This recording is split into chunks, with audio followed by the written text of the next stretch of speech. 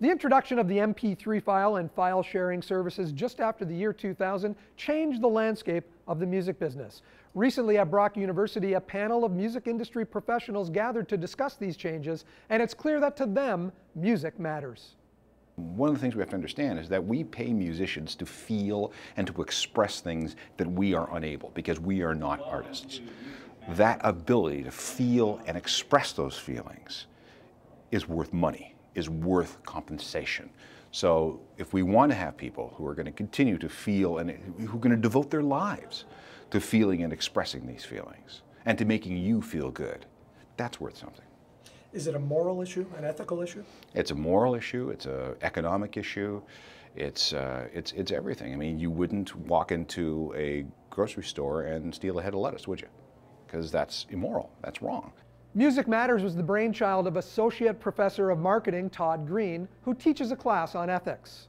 I teach marketing and we're often looking at how things are shifting. So quite often we talk about social media and, and things like that. So the big shift from music in the physical format to digital is something that I've been able to bring up. Um, in the past, when I used to teach marketing ethics, I used to ask my students, so you don't typically go and steal art from an art gallery.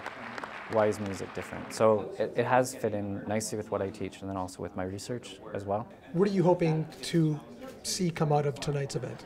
Um, well, hopefully some entertainment, I guess, of course, for the, the people who are coming. Um, a wide variety of opinions because they're all in different roles and they've held a number of different roles. Um, and also, I guess I would like to see people be encouraged to go into the music industry. So one thing we'll talk about is why should a young person go into the industry and why should someone who's in it now, why should they stay? Eric Alper is one panel member who is excited about the new way of doing business you know, we used to talk about when the internet was first happening that it was going to be a level playing field. And what it's done is, it's done that, which has been great for bands who don't want to have a record label or can't get a record deal or a distribution deal. They don't need it. They can go and record a song in their bedroom. By Friday, they can do a really cool video. By Sunday, they can have 100,000 views and then all of a sudden be in Rolling Stone magazine as a hot band. And then Tuesday, they're kind of forgotten about. And that's that new cycle of it. But, you know, that level playing field also has its bad side where if you're a band in St. Catharines, your competition is another band in St. Catharines. Your competition is now Bruce Springsteen. Your competition is now Madonna's new album. Your competition is Kendrick Lamar.